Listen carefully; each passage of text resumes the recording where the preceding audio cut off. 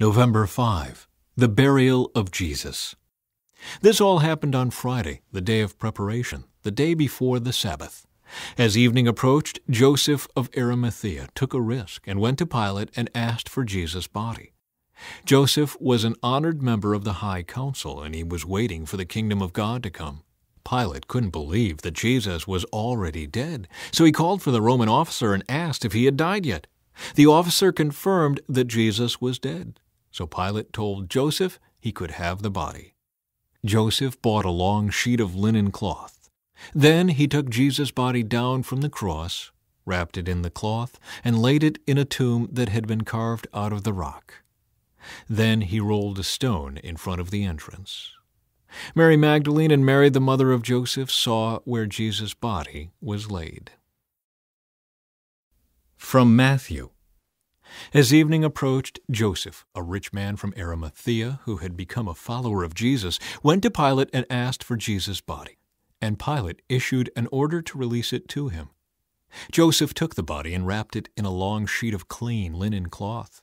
He placed it in his own new tomb, which had been carved out of the rock. Then he rolled a great stone across the entrance and left. Both Mary Magdalene and the other Mary were sitting across from the tomb and watching. From Luke. Now there was a good and righteous man named Joseph. He was a member of the Jewish High Council, but he had not agreed with the decision and actions of the other religious leaders. He was from the town of Arimathea in Judea, and he was waiting for the kingdom of God to come. He went to Pilate and asked for Jesus' body.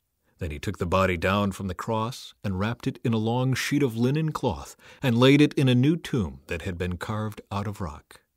This was done late on Friday afternoon, the day of preparation, as the Sabbath was about to begin. As his body was taken away, the women from Galilee followed and saw the tomb where his body was placed. Then they went home and prepared spices and ointments to anoint his body. But by the time they were finished, the Sabbath had begun, so they rested as required by the law. From John Afterward, Joseph of Arimathea, who had been a secret disciple of Jesus, because he feared the Jewish leaders, asked Pilate for permission to take down Jesus' body. When Pilate gave permission, Joseph came and took the body away. With him came Nicodemus, the man who had come to Jesus at night. He brought seventy five pounds of perfumed ointment made from myrrh and aloes. Following Jewish burial custom, they wrapped Jesus' body with the spices in long sheets of linen cloth. The place of crucifixion was near a garden, where there was a new tomb, never used before. And so, because it was the day of preparation for the Jewish Passover, and since the tomb was close at hand, they laid Jesus there.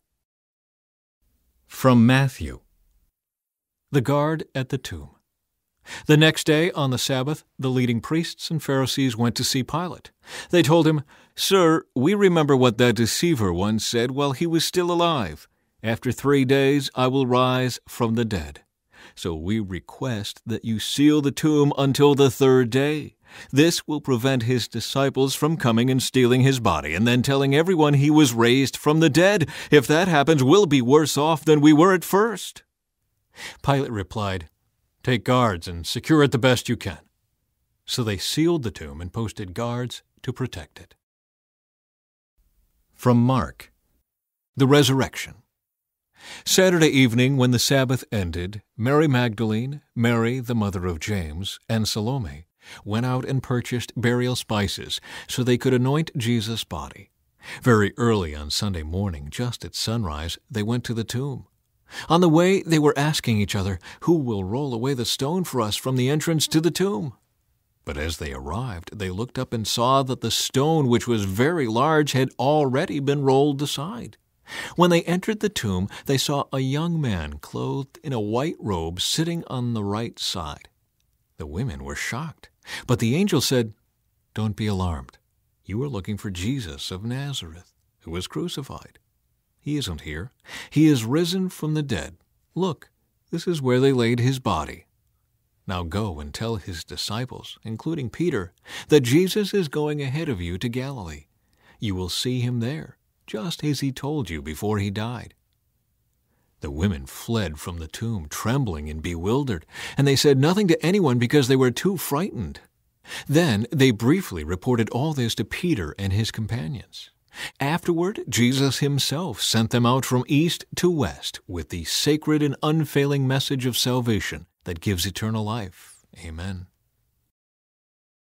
From Matthew Early on Sunday morning, as the new day was dawning, Mary Magdalene and the other Mary went out to visit the tomb. Suddenly, there was a great earthquake, for an angel of the Lord came down from heaven, rolled aside the stone, and sat on it.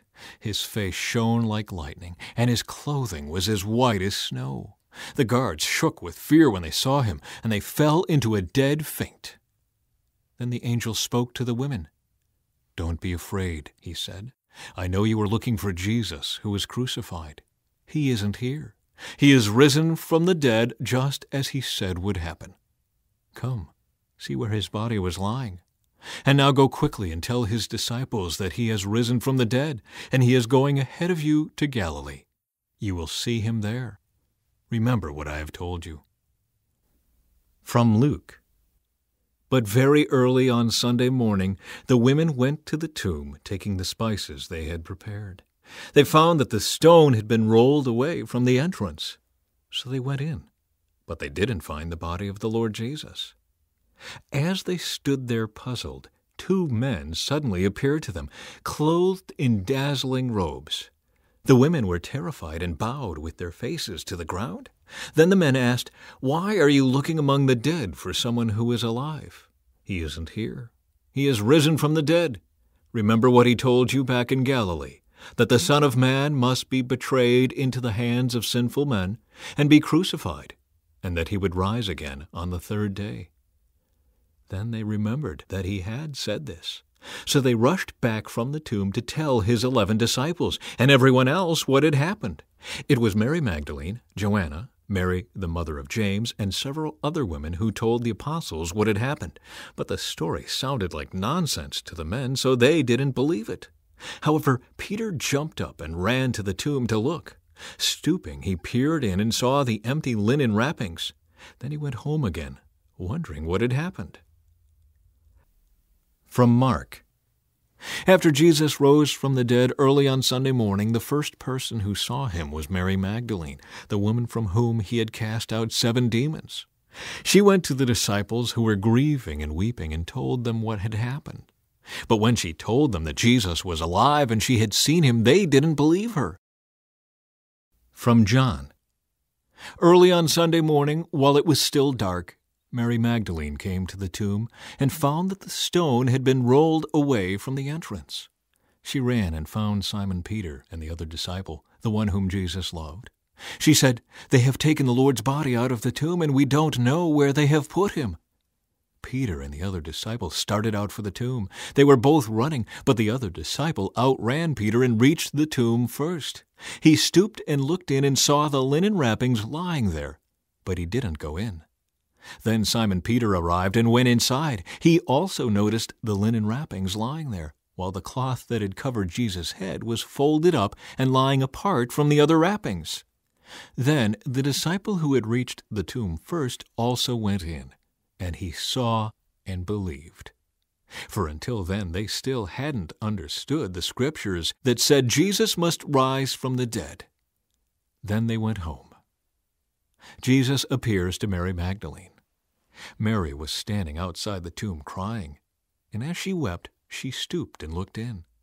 She saw two white robed angels, one sitting at the head and the other at the foot of the place where the body of Jesus had been lying.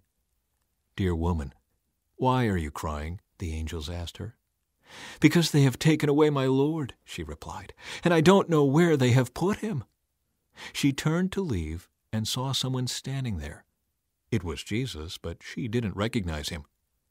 Dear woman, why are you crying? Jesus asked her. Who are you looking for? She thought he was the gardener. Sir, she said, if you have taken him away, tell me where you have put him, and I will go and get him.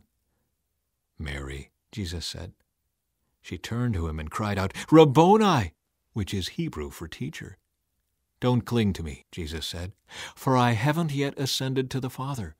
But go find my brothers and tell them I am ascending to my Father and your Father, to my God and your God.